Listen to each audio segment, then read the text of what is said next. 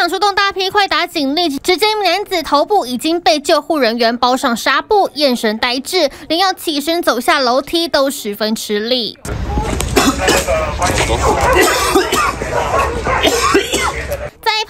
着急的是他的女朋友，在现场急得跳脚，神情紧张，一路看着男友上救护车，才跟着远警回派出所。只是男友怎么会被人拿球棒殴打？啊，拿什么打的？球棍，拿棒球棍啊，那个是不是？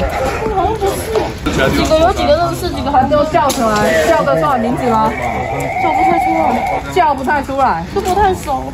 女友在一旁说自己跟对方不熟，似乎还在装傻，但动手的根本就是她闺蜜的男朋友。而原来二十二岁的张姓男子跟二十岁的蔡姓女子两人是网恋，交往了两个月。交往期间，女友发现他还在跟前女友纠缠，跟闺蜜哭诉。二十二号晚间跟男友相约在英国领事馆约会，男友还特地从桃园赴约。原本以为会有场浪漫约会，没想到被女朋友的闺蜜男友打成猪头。因为感情纠纷哦，然后跟朋友抱怨了，然后抱怨完以后，那个朋友帮他出去啊，打他的现任的男友。